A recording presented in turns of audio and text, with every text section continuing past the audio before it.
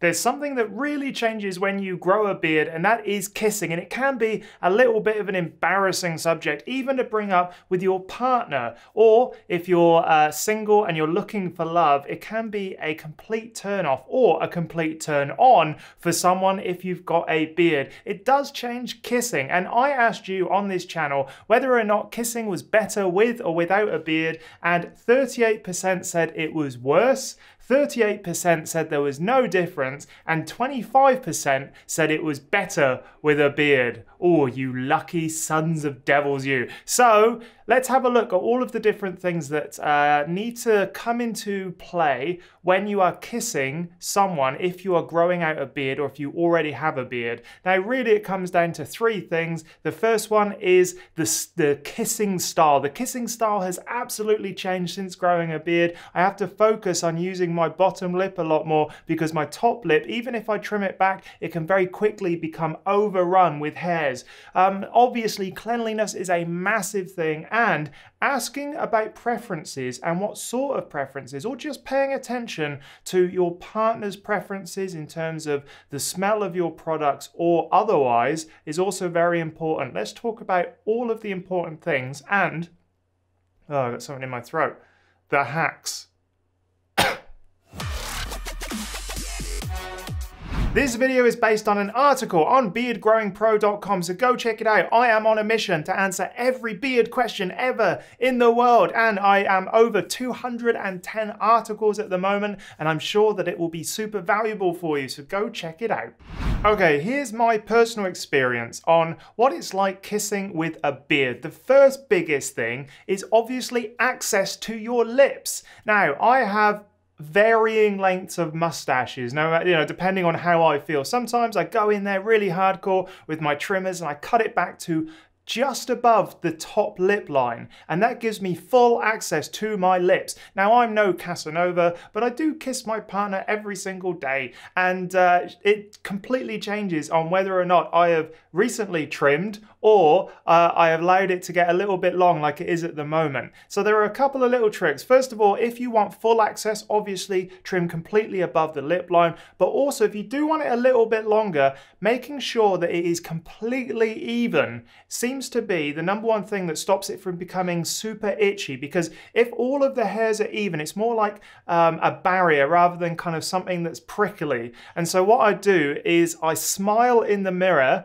and then I use the kind of contrast on my teeth to have a look to see if there are those tiny little hairs that are just poking out from the bulk. So I get my comb or my brush, I brush it down, smile in the mirror and then look for the ones that just poke out. And it's those little sort of hero hairs that are busting through the barrier that can make kissing really kind of just more prickly than it needs to be for you and your partner, but obviously mainly your partner. So nice clean lines on the top lip, making sure that you just push the outsides of the mustache a little bit further than usual, and then your bottom lip is always kind of open and free. If you have got a fancy mustache, waxing it out of the way is also a very easy thing. Um, but obviously wax can get a little bit uh, like tacky and sticky if it isn't, if it's a high wax component and uh, only if you've only just recently put it on. So access to the lips, trimming up, making sure the trim line is absolutely rock solid, getting yourself a good pair of trimmers. I've never been able to get a really good line with scissors, so a good zero cut trimmer. Go check out the article um, and a Growing Pro for my recommendations on those. Um, and yes, that seems to be the number one thing that makes it pleasant or not pleasant. Cleanliness is a very important thing, but so is softening that hair.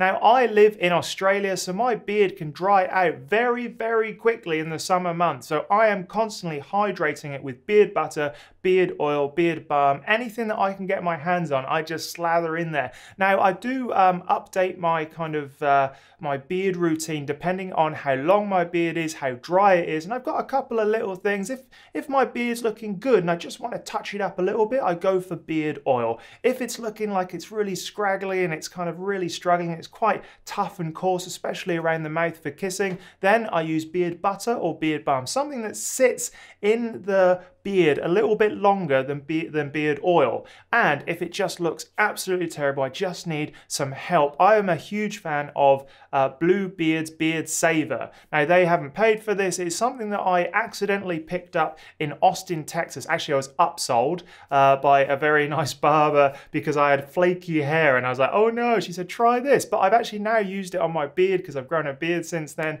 and uh, it's just fantastic. I put it in there. It's a little bit kind of oily. It's slightly thicker. It's like a little bit of the, mousse, but I've used up my entire tin. So Bluebeard, if you're listening, I'd love some more, uh, but I'll just go buy some if I don't hear from you. That's also absolutely fine. Um, but yes, I put some in. It's absolutely lovely. It's brilliant. It smells citrusy. It's really nice. So that beard saver just gives me like a deep hydration quickly and Cleanliness and softness go hand in hand for making your beard more kissable. Um, and I often find I forget to put it properly in my mustache. I'm always doing this with my palms and getting it up underneath, but really using my fingertips and really getting it into the depths of the mustache. That's what's going to make your beard more kissable. And I forget to do that a lot. So don't be like me. Do what I say, not what I do. Now, there's no doubt that my kissing style has absolutely changed. Now, I'm not saying that I'm some sort of like amazing kisser, but I'm probably pretty good, I guess. Um, but the kissing style has changed. I have found that we don't sort of kiss passionately for as long or as often as we used to, you know, where you're just like all up in each other's business. None of that anymore. It's just, you know, much more focused on the bottom lip, a lot more pecking. But, you know, I've been with my partner for a very long time, for over uh, oh God, uh, 12 or 15 years, something like that. Yes, I think that's right. So, you know, obviously we're out of the honeymoon period a while ago, but definitely I did notice that it does change your kissing style no matter what. I've asked her and she seems to think that it's, you know, it's fine, it's just different. And that's all it's all about. So you do have to kind of adapt. If you've got a shorter beard, your beard may be scratchier than you want it to be or your partner wants it to be, but it can result in beard burn, and that can be really frustrating. But once it grows out a little bit, it's a bit softer, it can yield to the pressure of people putting their lips against yours, and uh, it doesn't scratch as much. So if you have got a short to medium length beard and your partner is particularly um, sort of like complaining or, or asking you to trim it up, just try the other side for a little bit. Just push the length a little bit to see if it makes it better. I noticed a huge difference, as did my partner, and uh, yeah, yes, asking them what they think and what their preferences are are very, very important. Let's talk about that. Like everything in life, communication goes a massively long way to making sure that kissing with a beard is pleasurable and enjoyable for everyone. Um, I think to just two people, but if you're kissing more than that, then good on you.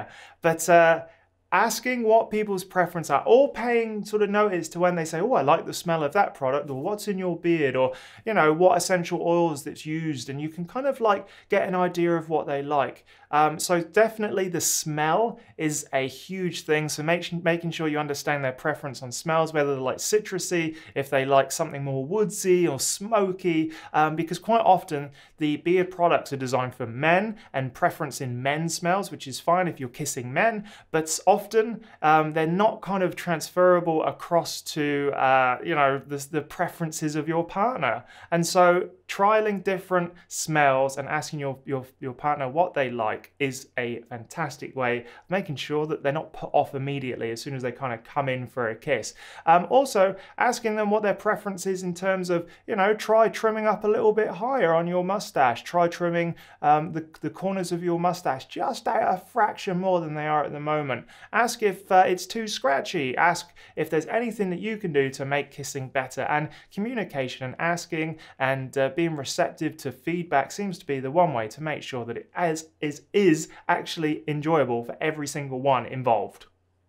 So there we have it. That is everything you need to know about kissing with a beard. It does change, but there are ways to make sure that the kissing experience is pleasurable for everyone. And, uh, you know, in my experience, it has changed the way me and my partner kiss and the frequency, but it's uh, different. It's not necessarily bad. Let me know in the comments what you would add to that list, and I shall see you in the next video.